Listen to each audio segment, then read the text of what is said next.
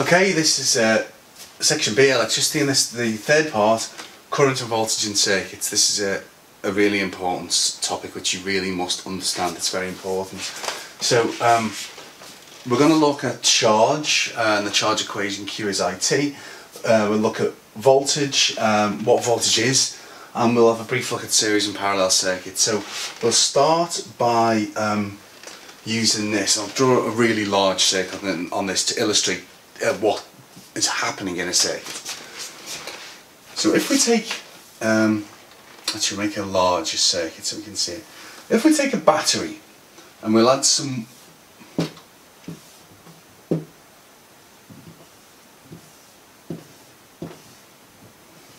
We'll add a wire to the battery and uh, we'll have just a very very simple circuit so we'll just have a very simple series circuit.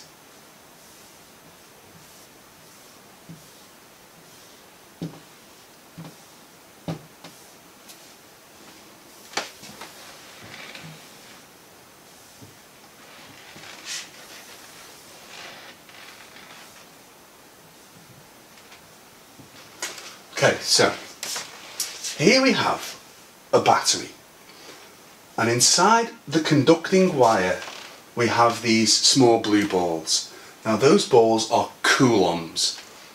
Now the coulombs are the charged particles which are moving around the circuit. Now when they pass through the battery, the battery which pushes them along, the battery gives each coulomb, each single coulomb, energy.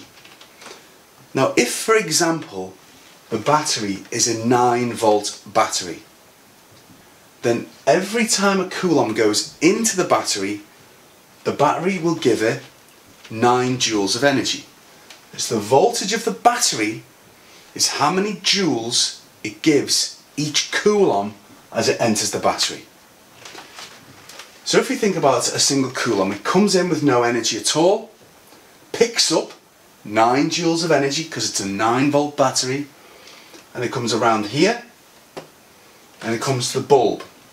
And when it comes to the bulb, it comes in with its 9 joules. Because the bulb is the only thing in the circuit, it gives all of its 9 joules to the bulb and comes out with nothing. Goes back to the battery and gets it again. Now if we add a voltmeter to this circuit, we can see this battery is a 9 volt battery. So that means the potential difference between the two sides of the battery is 9 volts. It means that they had none when they came in and now they've got 9. And if we look at the voltage drop across the bulb, we see again it's 9 volts because they've lost 9 joules of energy as they pass through the light bulb. And obviously that energy went from electrical energy into heat and light in the light bulb. Now,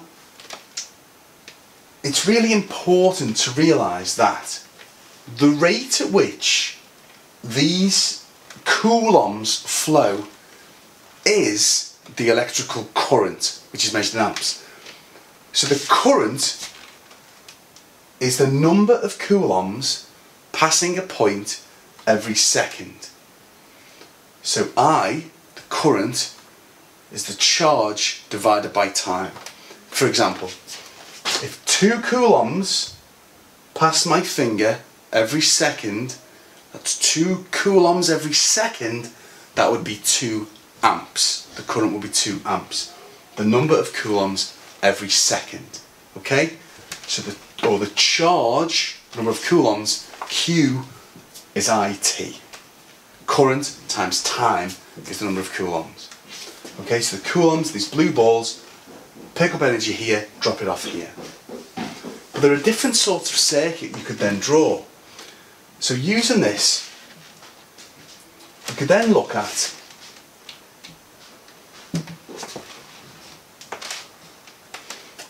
other types of circuits. So we can look at series and parallel circuits. So if we were to look at um, a series circuit, we can see that the current everywhere in the circuit is the same. So we'll draw a smaller circuit this time, so we'll have our battery. And if we draw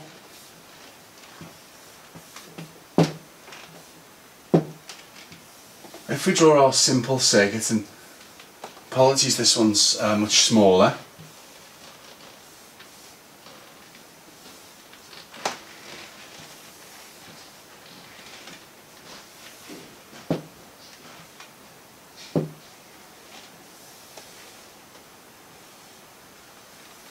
Now we could put into this circuit, we could put an ammeter. So if we take an ammeter and I put it in there, that will show me the current that's flowing. Again, sorry, it's probably quite small.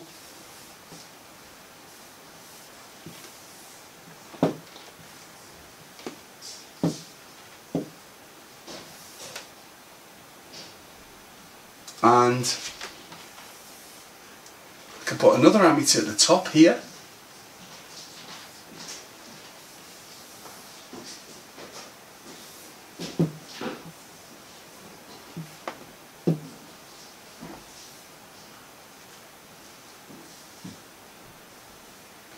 And what we'll see is that the current in a series circuit where there's only one possible path the current is the same everywhere in the circuit because there's only one possible path. The voltage picks up 9 joules each, drops them off.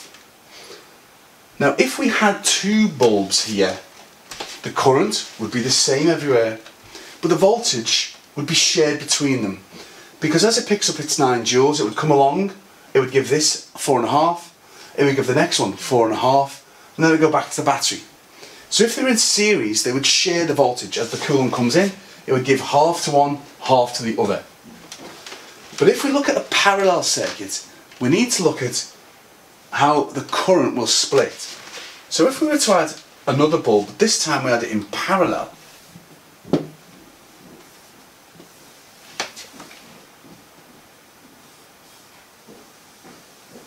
we can see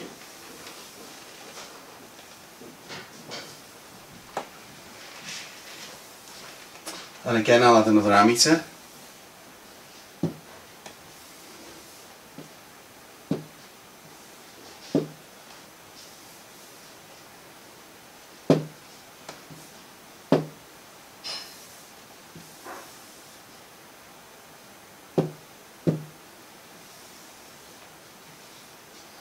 Now then, we can see now that the rate of flow of the coulombs at the top, the current, is 1.8 amps. That means there are 1.8 coulombs flowing past each point per second. But when they come to here, we can see that they split. Half go this way and half go this way. So if we see the speed here, it's greatly reduced. They split and they go over to this side and they meet up again and add together. So we see then that the current goes from 1.8 and it splits 0.9 here, 0.9 here. Then they come back, add together again to make 1.8. So we can see that in a parallel circuit, the current splits. So the current splits because one coulomb goes one way, one coulomb goes the other, one coulomb goes the other, and one goes the other. However, the potential difference or voltage does not split in a parallel circuit. It splits in series, but it does not split in parallel. Because if you think about a Coulomb coming through the battery, it picks up 9 joules of energy. But when it comes around here, it's got a choice. It could go down this path and back to the battery, or it can go down this path and back to the battery. It cannot go down both. It's got to pick one or the other. So if it comes along with its 9 joules of energy, if it goes down here, it will give all 9 joules to this one and back again. If it goes down here, it gives all 9 joules to this one and back again. Therefore, the potential difference across each branch in a parallel circuit is the same. Potential difference across here is the same as the potential difference across here. In a series circuit, if you have the two bulbs next to each other, only then does the voltage split, where the Coulomb would give them half each of its energy, and it would be four and a half each. But in parallel, the voltage is the same across every branch, which is why in a parallel circuit, because they've all got the same potential difference, and because the more branches you add, the more current comes out the battery, that's why uh, batteries would go flat much quicker in a parallel circuit. You also need to know about, very simply, if different parts of a circuit were to break, what would happen. So for example, if we, if we uh, removed, say, this part of the circuit, what would happen? And you need to know, obviously, that this, because the electricity can't get back and make a complete circuit, this would go off. Another interesting thing worthy of note is if you were to short circuit it, so offer a path with no resistance, so if you offered this path, for example, then because you've got a path with no resistance, all the current would flow this way. You've got an enormous current because we've short circuited it now, and therefore it breaks. Okay, this is this is sort of an example you could use uh, when you're thinking about uh, why earth wires are useful, safety wires in a plug if it short circuits because uh, your fuse melts. So here you can see if there is a path with no resistance, the electricity will obviously use that path as opposed to the bulbs. Okay?